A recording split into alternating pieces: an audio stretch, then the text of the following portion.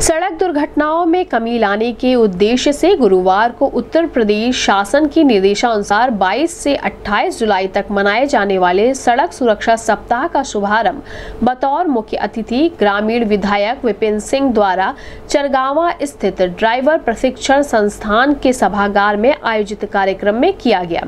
इस मौके पर विधायक विपिन सिंह के अलावा एसपी ट्रैफ़िक राम सेवक गौतम, संभागीय परिवहन अधिकारी अनिता सिंह, सहायक संभागीय परिवहन अधिकारी प्रवर्तन बी के सिंह, सहायक संभागीय परिवहन अधिकारी प्रशासन श्यामलाल, सहायक क्षेत्रीय प्रबंधक के के तिवारी एवं सहायक संभागीय निरीक्षक राघव कुमार कुशवाहा एवं सीमा गौतम के अलावा अन्य लोग मौजूद रहे।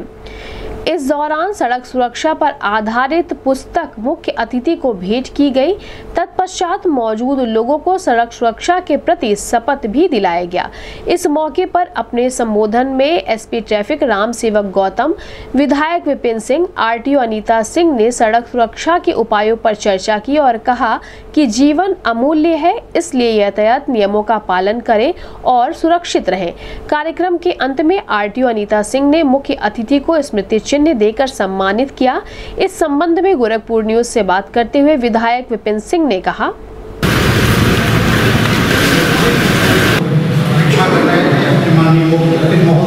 जो 22 जुलाई से लेके 28 जुलाई तक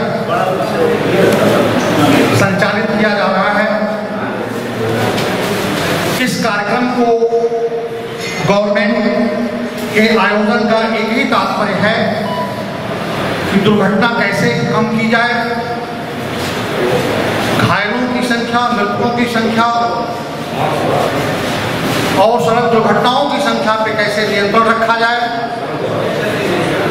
इसके लिए वो हमारी उत्तर प्रदेश राज्य सड़क सुरक्षा परिषद है, जिसके अध्यक्ष माननीय मुख्यमंत्री जी हैं। 9 अक्टूबर 2020 को सड़क सुरक्षा परिषद की मीटिंग के बाद जो निर्देश दिए गए, उसके अनुपालन में पूरे वित्तीय वर्ष में चार सड़क सुरक्षा सप्ताह कार्यक्रम मनाए जाएँगे, जिसका ये पहला सड़क सुरक्षा सप्ताह कार्यक्रम जो 22 जुलाई से लेके 28 जुलाई तक आयोजित किया जा रहा है। इस कार्यक्रम का एक उद्देश्य है कि सड़क दुर्घटना की संख्या में 10 प्रतिशत की कमी प्रतिवर्ष हो। और मृत्यु की जो मृतकों की संख्या है उसमें भी 10 परसेंट की कमी हो। बीस में वो बढ़ोतरी नहीं हो पाई यह चिंता का विषय चलते रहेंगे ये पहला कार्यक्रम हम लोग सेलिब्रेट करने के लिए इसको मनाने के लिए और आप तक जागरूकता पहुँचाने के लिए।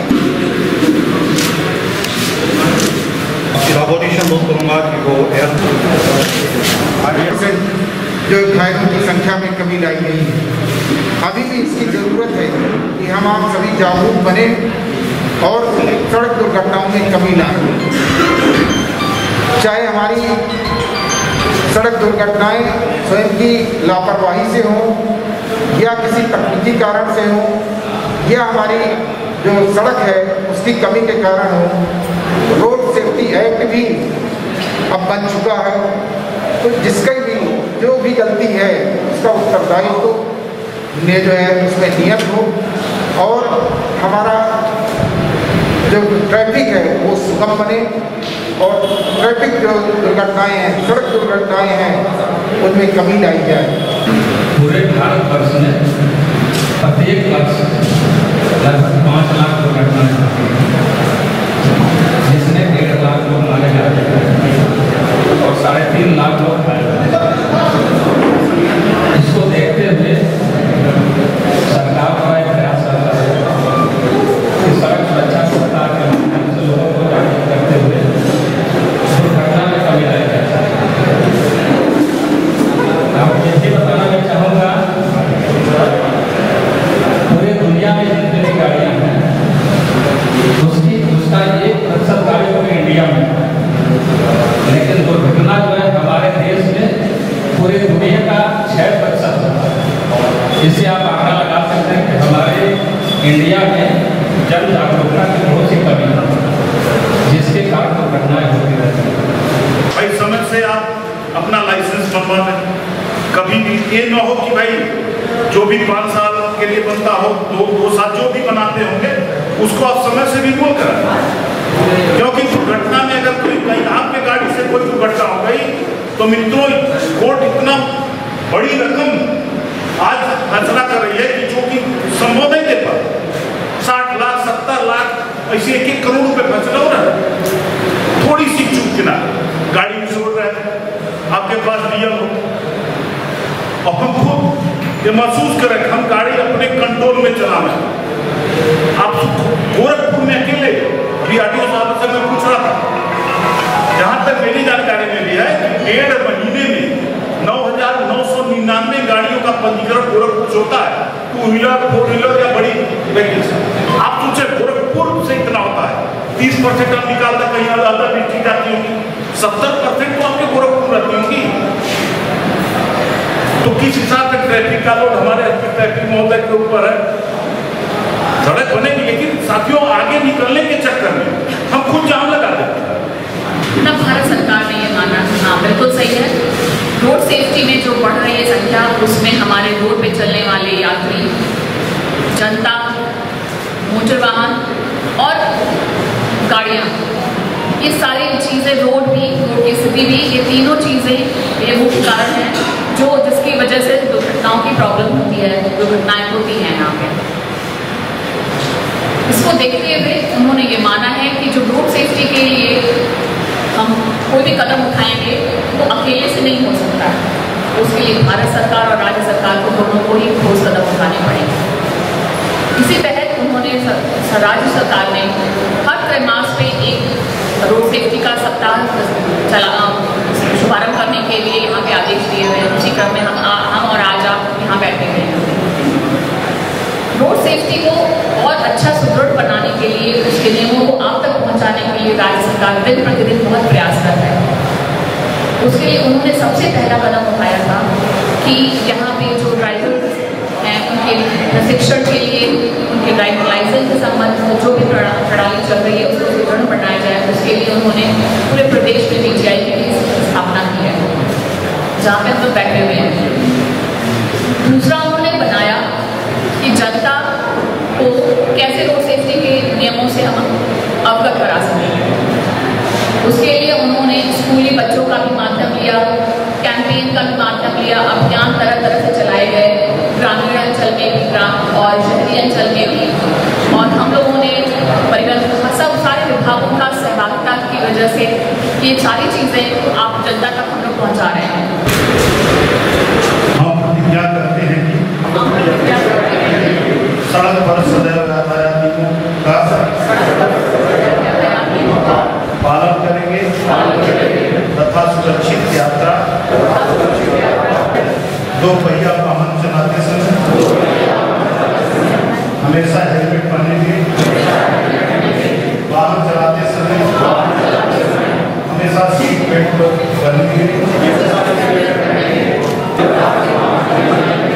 लेन ड्राइविंग के नियमों का पालन करेंगे। वाहन चलाते समय मोबाइल फ़ोन का प्रयोग नहीं करेंगे शराब पीकर या नशे की हालत में गाड़ी नहीं चलाएँगे सड़क दुर्घटना में घायल व्यक्तियों की मदद हेतु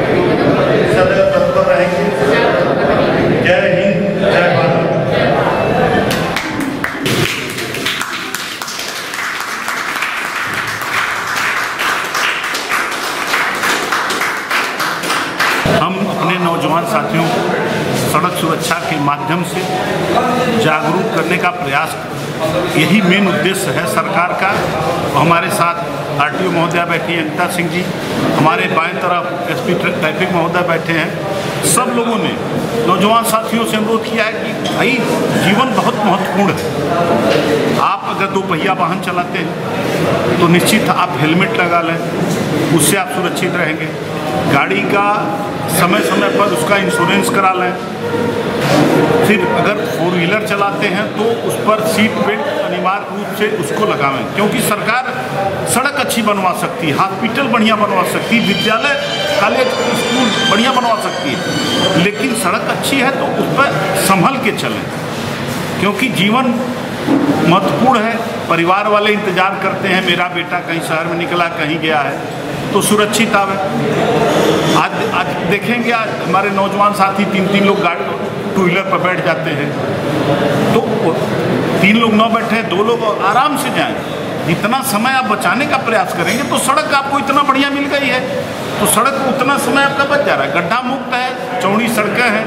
ये पूरे प्रदेश में अभियान चल रहा है और निश्चित हमारे नौजवान साथी ऐसे कार्यक्रमों से प्रेरणा लेंगे और अपने जीवन को सुरक्षित रखते हुए वाहन धीमी गति से चलाएँगे।